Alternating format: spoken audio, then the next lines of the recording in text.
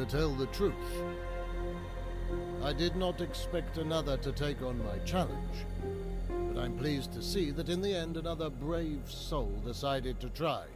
Well, I was told that your name is Giacomo, so I bid you welcome. You just entered the labyrinth, and your task is simple. You need to find your way to the other side. I, of course, put a few little obstacles in your path.